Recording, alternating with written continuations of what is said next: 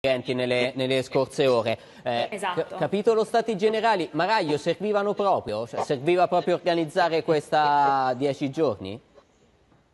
Ma credo di sì, perché noi stiamo affrontando una fase nuova, che è quella della ripartenza, che per molti aspetti è molto più complicata rispetto alla fase dell'emergenza che abbiamo vissuto fino ad oggi. Noi abbiamo giocato in difesa per isolare il virus scorse, negli scorsi mesi e nelle scorse settimane, oggi c'è da affrontare una fase nuova che ci deve vedere all'attacco, un po' direi alla Murigno, dobbiamo decidere come affrontare la fase di attacco per rimettere in moto la nostra economia e per ridare all'Italia un, un'adeguata risposta rispetto alle imprese che sono in sofferenza, alle famiglie che hanno bisogno di risposte e che sono in difficoltà.